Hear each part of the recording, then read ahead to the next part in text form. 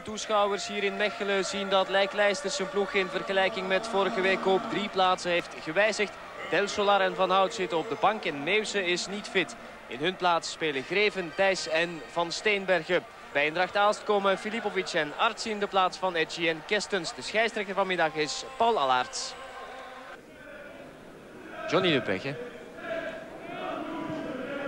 Hij doorgekopt en dan Elias met de kans ineens. En de goal. Rolt hij binnen? Nee, net niet. Bal werd doorgekopt na die uittrap van Johnny Lebegge door Camus. En dan zomaar Joao Elias alleen voor Kujovic. De bal erover ook, maar nog net van de lijn gehaald.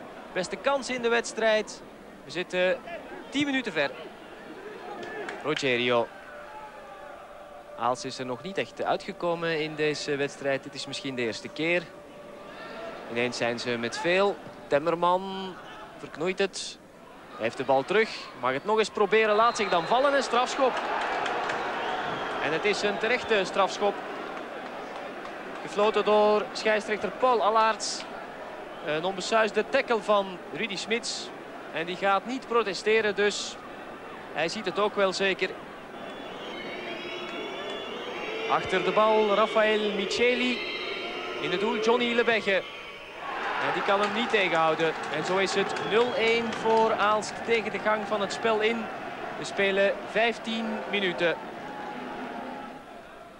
Tweede hoekschop voor KV Mechelen. Achter de bal Steven Ribus. En opletten voor de lange mannen. En het is niet één de langste die kopt. Maar wel Joao Elias. En zo komt KV Mechelen opnieuw op gelijke hoogte. Na een doelpunt van Joao Elias. De gelijkmaker is verdiend te noemen. Opnieuw een hoekschop voor KV Mechelen. Daarnet leverde een corner doelpunt op voor KV. Dus opletten. Steven Ribus goed getrapt. En een vrije kopkans voor Daniel Camus. Hij laat ze liggen. De beste kansen in deze partij blijven voor KV Mechelen. Temmerman. Valjevic. Sammy van den Bossen ook nog weinig gezien. Rogerio, Sammy van den Bossen nu. Met een goede opening. Goede kans ook. Goede redding van Lebegge. De tweede keer pas dat Eendracht Aalst in de buurt komt van Lebegge. Of Lebegge liever. Veel balverlies in de slotfase van de eerste helft. Elias geen buitenspel. Joao Elias. Is voor de goal? Ribus komt. Camus is daar ook. Maar de voorzet moet er nog komen natuurlijk. Daar is hij. Voorlangs. En zo gaan we rusten in KV Mechelen-Aalst. Bij een 1-1 gelijkspel na een eerste helft zonder veel geschiedenis. Tim de Keizer. De Keizer. Joao Elias. In een uh, tweede helft die op een uh, bijzonder laag tempo is uh, begonnen. Bruggetje van Dirks. Zoekt zijn rechterbeen. Het schot. Goed schot van Dirks. Eerste wapenfeit in de tweede helft. We spelen vijf minuten. Sammy van den Bossen. Steun op de linkerkant. Micheli. Aan de overkant is Thibaut. Daar gaat het nu naartoe. Gunder Thibaut. Nog een 1-2 proberen. En zo is de kans vakkundig de nek omgevrongen. Eerste echt goede mogelijkheid voor Eendracht Aalst. In een bijzonder slappe tweede helft. Vrijtrap voor KV Mechelen en dus achter de bal Daniel Camus. Goed van Camus, Mal blijft hangen daar en dan gescoord uiteindelijk door Eddy Dirks. En 2-1 voor KV Mechelen. En dat is meer dan verdiend. We zitten in de 21ste minuut van de tweede helft.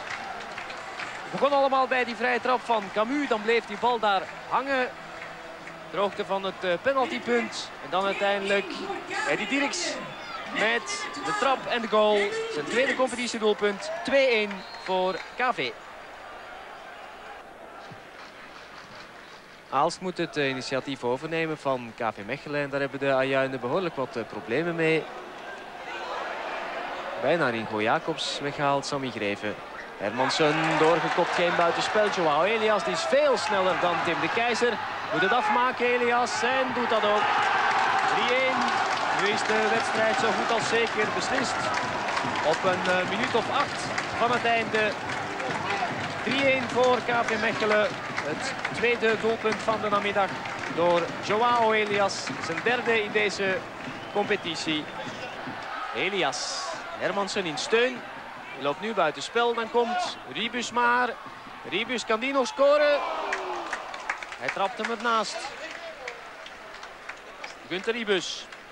KV met de kans op 4-1.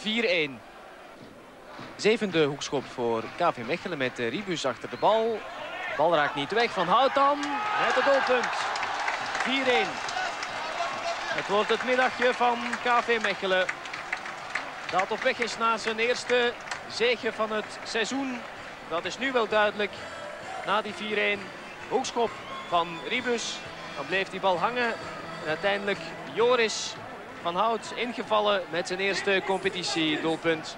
Nog drie minuten te spelen. Elias. Mooi van Elias. Dolt even met de tegenstand. Dan mag hij nog zijn vijfde maken ook? Nee. Spectaculaire duik er nog wel bovenop. Zo blijft het 4-1 hier in Mechelen. De eerste zege voor KV van het seizoen. KV geeft de rode lantaarn door aan Aalst.